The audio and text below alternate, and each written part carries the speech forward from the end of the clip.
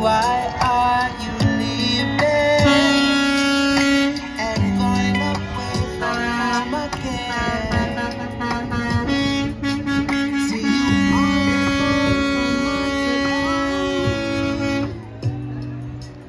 every night.